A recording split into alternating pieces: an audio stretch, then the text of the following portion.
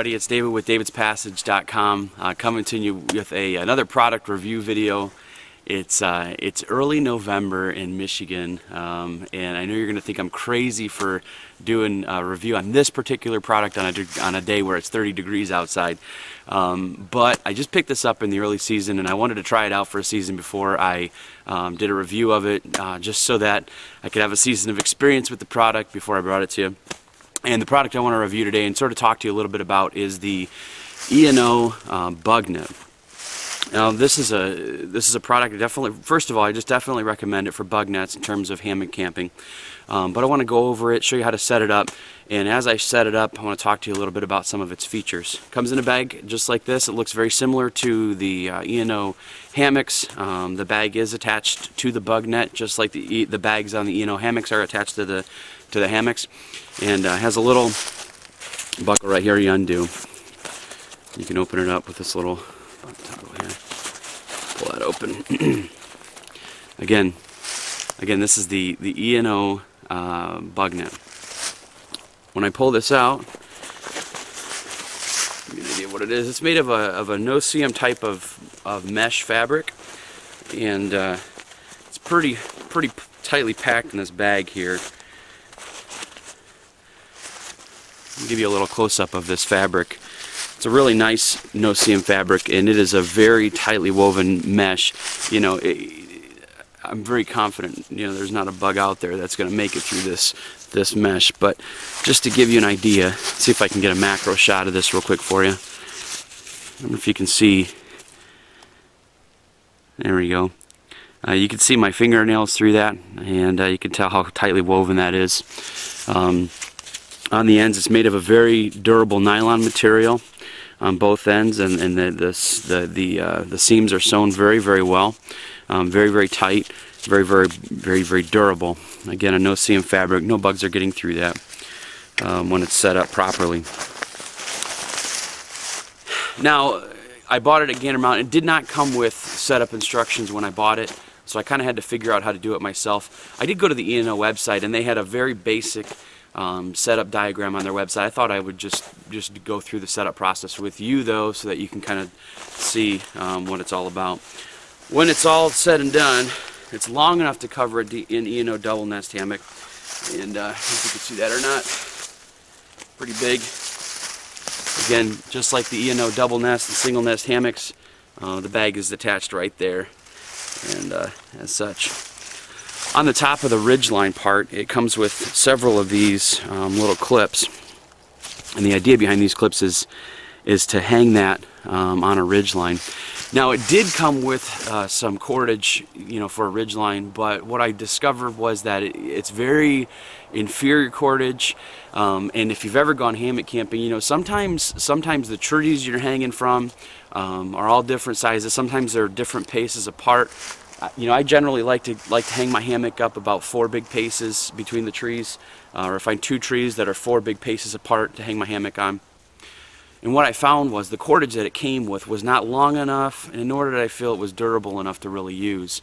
So I'm not going to use the, the cordage that it came with today. I'm going to actually show you how to use it with paracord. The cordage it came with uh, originally was very thin, very easy to snap over these guys, but I found out that, um, that using paracord is just just as effective. It's a little bit more snug, but it works well. It has two zippers okay? And each zipper is double-sided so um, if you want to zip it all the way up and then zip it down or you want to zip it all the way down and zip it up you can do that but it's also double-sided zippers. So when you're in the uh, the hammock itself when you're in the hammock on the outside you can uh, or on the inside you can grab a zipper and unzip it. From the outside you can do the same thing. So I'm just gonna go over and show you a little bit about how to set it up and how I like to set it up give you a little bit of an idea of how it hangs with a big guy like me sitting in a hammock and uh, let's get started. All right, so the first thing you're going to want to do uh, when you set it up, you want to make sure that the bag on your ENO hammock is empty. Otherwise, this doesn't necessarily work very well. You're going to take your, your, your bug net and you want to unzip the bug net. You want to unzip it so you can reach inside. Take your hand and go inside the bug net, bring it all the way to the end here so your hand sticks out of that end part. Okay? Then what I like to do is just take the carabiner that I'm using on my one side unclip it, and then bring that hammock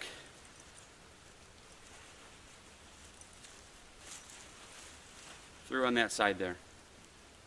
Bring it up through the end, hook it back up to your carabiner.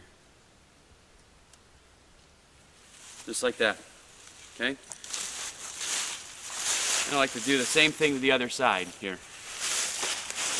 So now that the now that the bug net is on my hammock, what I'm going to do is start taking these clips and I'm going to start to clip it to my ridge line.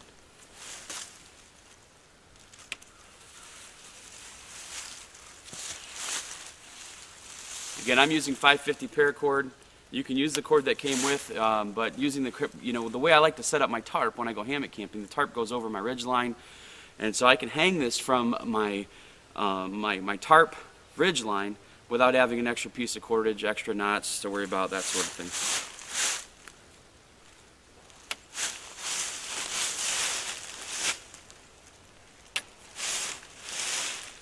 Now to finish it off, all you have to do is uh, make sure your your your hammock is inside of the uh, the bug net. Um, grab this little toggle deal here and cinch it up. And you can see um, on the end there, you know that can you can cinch that up really tight. Bugs aren't getting in there, and that works out really really well for me, for the most part.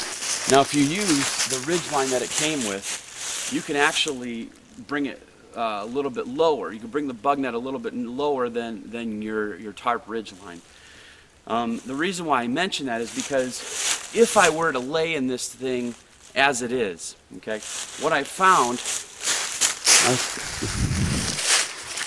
if I were to in this thing as it is, as I've set it up here, what I found is as the as the tarp or as the um, as the hammock gets um, tense I don't know if you can see that or not, but that hole starts to open up.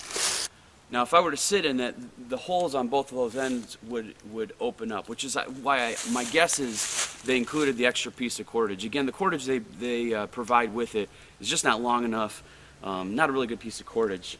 And I'll show you what I like to do so that this doesn't happen. All you have to do is take the very last clip on each side and unclip it.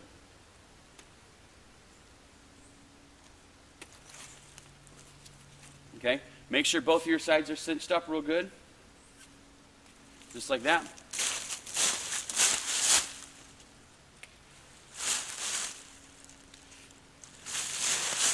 Just like that.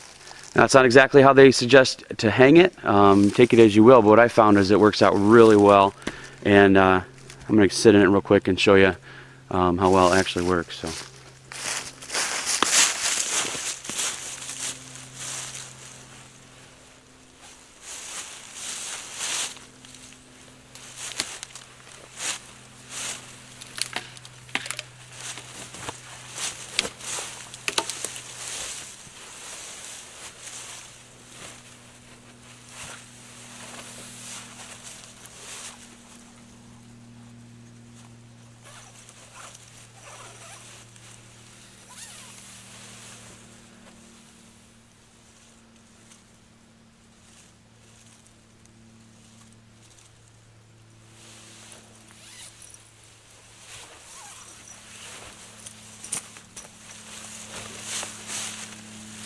So even setting it up a little bit different, you know, here, um, you don't miss out a lot. And when you're inside, you can't really tell the difference. I mean, there's there's plenty of headroom in there, um, plenty of playroom. So you can you can totally ditch that second piece of cordage and uh, just go with the ridge line. Now, normally when I would tarp camp, um, hammock camp, I have a tarp that goes over this. So um, some people, if, if you like your ridge line above um, your your tarp for whatever reason, you know, I would suggest bringing along another piece of paracord because Again, I don't know if you can see, you know, these two trees are not that far apart, and yet the cordage that they provide is not long enough to go around both those trees. That's it for the, for the most part. Now, there's one piece. Now, if, any of you guys have any experience with this, I got to ask you a question because there's a little feature on this on this uh, this bug net that I am just not sure um, what it is. I'm going to show that to you real quick on both ends of this uh, bug net, one of the things I'm not so sure, but you can see that, that the end is still cinched up even though I put my weight in there and everything. But uh, there's a little piece of cord that's attached here along with this little loop. Now, in the instructions and on the ENO website, there is nothing mentioned about what this is for.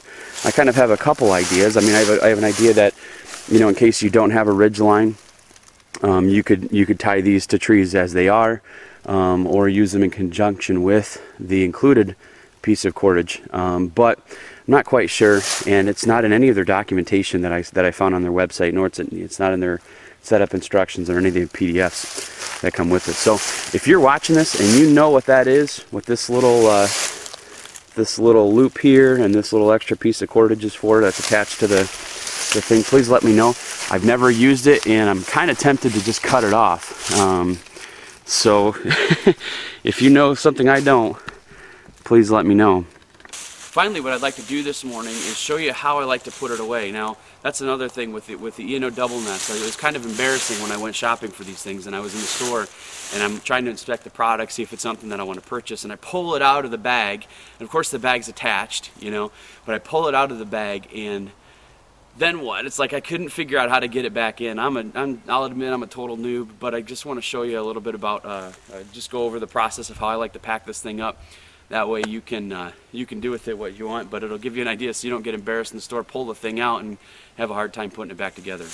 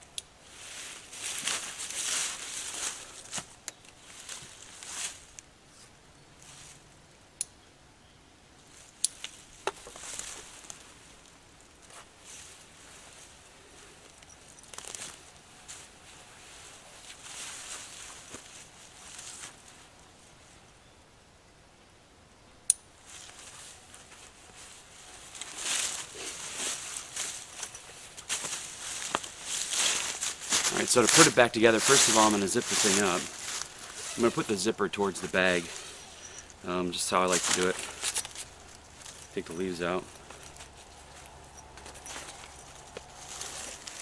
Okay. Then what I like to do is, is kind of spread it out a bit, make sure it's nice and open, and kind of fold it over on itself. Fold the zipper over on itself down towards the bag this. It's a little thinner, kind of wind that up.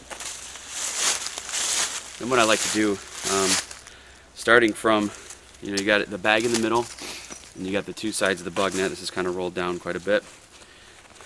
Okay, I like to make a really tight, really tight uh, sort of, um, not a knot, but just sort of a, a, a bunch of this. Just bunch this up really tight. Again, this is very durable fabric. Make that as small of a of a knot as possible, or as small of a bunch as possible. I'm going to shove that first end way down in the bottom of the bag.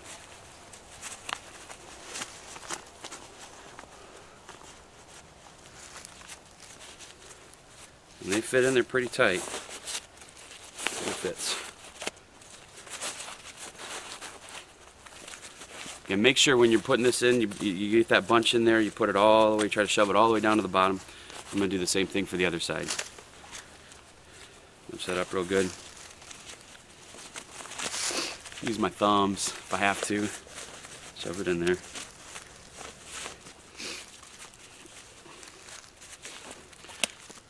When it's all said and done. Oh, gotta get that cordage in there.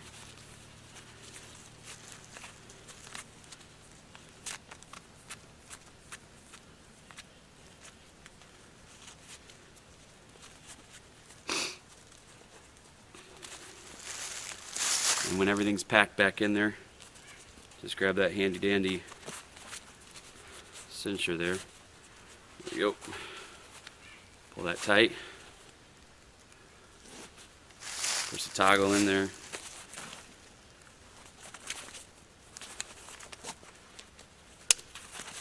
button up, cinch it down. Again, this is the ENO Guardian Bug Net, and uh, I, I think it's a great product. It's well worth the money, especially in Michigan when it gets hot and muggy on those summer nights. Those mosquitoes are out like gangbusters. Um, definitely suggested as far as a bug net. I, I tooled around with, with trying to make one myself, um, looking up, we did some research in terms of where I could get the material at and for the price.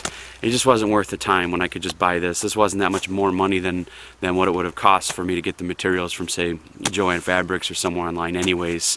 And you know, you know makes good stuff. They, they put a lot of uh, hard work into their products. It's good quality stuff, and so um, don't waste your time trying to make it. In other words, because unless you know someplace that, where you can get that noseeum fabric on the cheap, um, and this is already set up for hammock, you don't have to worry about all the patterns and so. You know, I'll admit there's some there's some reward to making your own gear. Um, there's some sense of self-satisfaction, that sort of thing, and I'll give you props if that's what you want to do. But for me, um, time is money, and so it was just easier for me to, to just spend the money on this product and then get it. And I highly suggest it. It's really durable fabrics, um, really good seams. The seams are really good, you know, really uh, quality seams.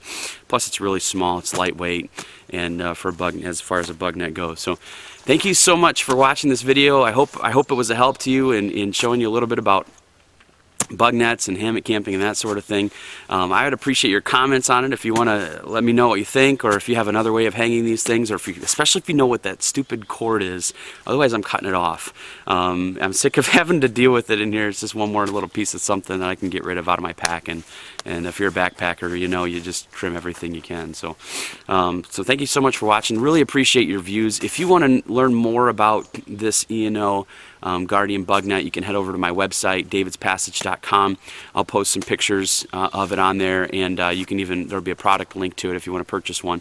But uh, thank you so much for watching. Appreciate your views, appreciate your subscriptions, your comments, um, and appreciate your likes on Facebook or on Twitter and all that good stuff. So I just love, uh, love, uh, interacting with, with the camping community. So thanks again for watching. You guys have a great day and uh, have a great rest of whatever's left of camping season which really doesn't have an end, does it?